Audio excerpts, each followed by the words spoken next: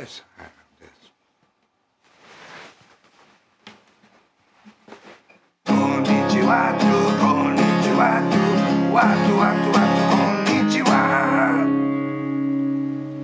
Hi everyone, and welcome to this week's episode of Konnichi What?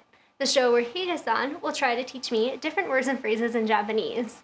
We've already taught you how to say mom in Japanese, and for every Mother's Day, there's always a Father's Day that follows, so why not even it out and be able to call your dad dad in Japanese too? Higa-san, how do you say dad in Japanese? Otosan. Otosan. Otosan? Otosan? Konnichiwa, konnichiwa, watu, watu, watu, konnichiwa.